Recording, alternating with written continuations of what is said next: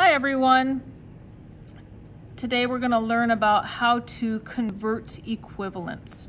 So this worksheet is in your Google Slides and in order to do the conversions of the equivalents means that they are equal.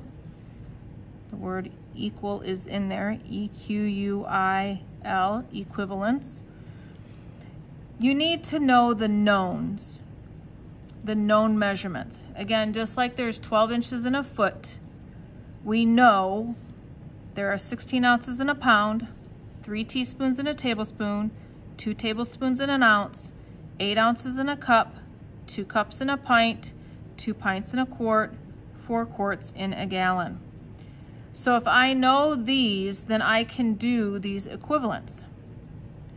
So I'm gonna start with the first one and maybe the second one. And then I'm gonna show you another way, uh, several ways to find the answers for these. So the rest of them you can do on your own. And then what I'll have you do is upload those answers and send them back to me. So the first one is tablespoons to cups. And before I go any further, what I need to know is what is the known of tablespoons to cups? How many tablespoons are in a cup? And if you remember from doing this mnemonic device, you will know that there are 16 tablespoons in a cup. If you remember correctly, there are two, two tablespoons in an ounce, and there are eight ounces in a cup, so two times eight is 16.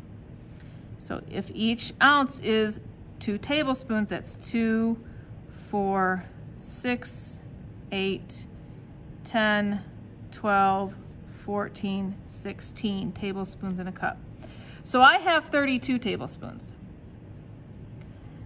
I know that 16 goes into 32 evenly two times.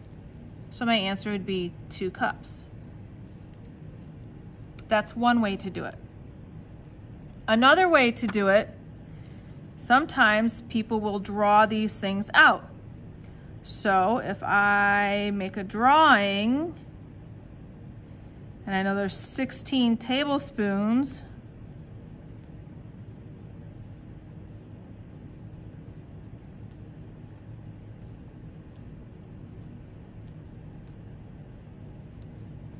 in one cup,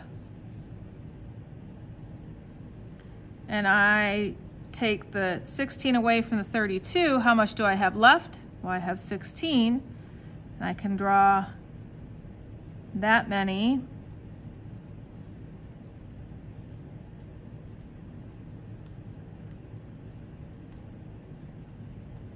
tablespoons and that gives me two cups.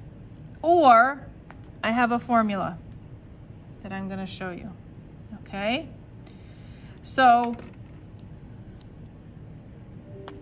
we were solving for x, which was 2. So the x goes here, the c for the x goes here, the unit of measure. Then that means the tablespoon goes up on top.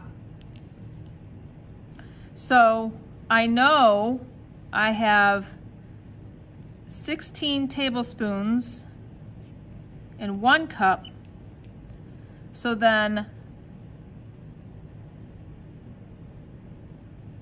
I'm looking for 32 tablespoons. So the, now I'm going to cross multiply. So 16 times x would be 16x. 1 times 32 would be 32. And then I solve for x, which is 32 divided by 16. This line is a division. Divided by 16, which gives me 2. And that's the answer, 2 cups. So that is a way that you can use this formula. Okay? The next item, I have pints to gallons. And if I look at this one, and I remember that the yellow ones are the pints, then I know that there are eight pints in a gallon. So if there are eight pints in one gallon and I have 12 gallons, some of you can probably do this in your head quite easily. Basically, it's 8 goes into 12, how many times? And that would be one and a half gallons. But if I have 8 here and I subtract the 8 from the 12, then I have 4 left over. And 4 we see makes up a half of a gallon. That tells me I have one and a half gallons. That's another way to do it. Or I can get my formula back out.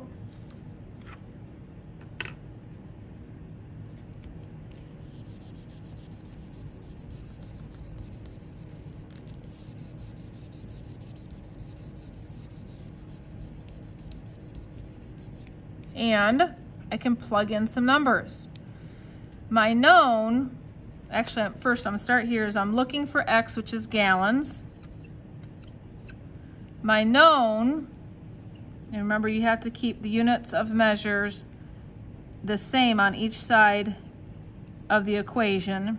But my known is that there are eight pints per gallon.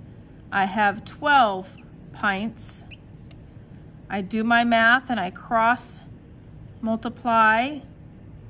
And this is a divider. 12 divided by 8 is one and a half.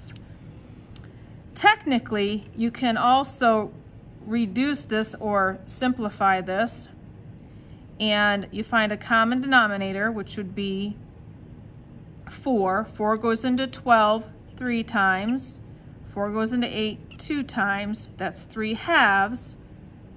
And to find out, to take this improper fraction and put it into a proper fraction, you do a little division. Again, this is a divider, so it's 3 divided by 2. 2 goes into 3 once. 2 times 1 is 2. Subtract the 2 from the 3, that's 1. And then you're going to bring this number up as the numerator, and this is denominator, 1 and 1 half. So now you get to work on the rest of them on your own. If you get stuck, Call me, text me, ask me in Zoom, whatever you need to do.